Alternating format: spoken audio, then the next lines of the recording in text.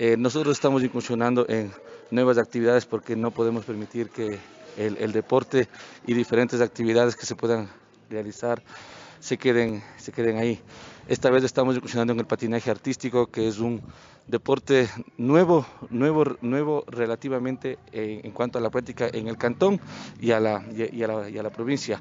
La escuela viene funcionando desde hace seis semanas y gracias a Dios contamos ya con la presencia de 10 niños en el, en el curso. Eh, ¿Cómo podrían hacer los padres de familia de pronto que se interesen en este tipo de actividad deportiva para vincularles a sus hijos en esta actividad? Gracias a Dios y, y, quiero dar las gracias también a la gente del GAD parroquial de Marcos Espinel que nos han brindado las facilidades en cuanto a las instalaciones porque el patinaje artístico tiene que ser practicado en una pista acorde para para esta disciplina. Y la cancha y la pista de la parroquia Marcos Espinel es la única que, que presta estas facilidades. Agradezco a, al señor David Quintero y a Franklin Moya que nos brindaron las facilidades. Las clases se realizan de lunes a viernes de 15 horas 15 a 17 horas aquí en, en la cancha de, de, la parroquia Marcos Espinel y cumplimos con todos los protocolos de bioseguridad como Marda manda el COE cantonal.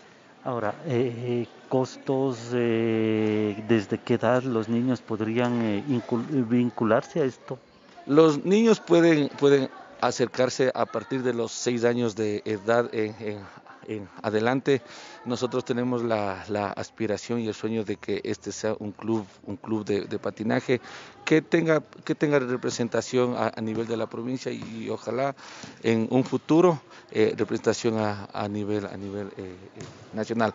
Los costos se manejan por cada, por cada sesión de, entrenamiento.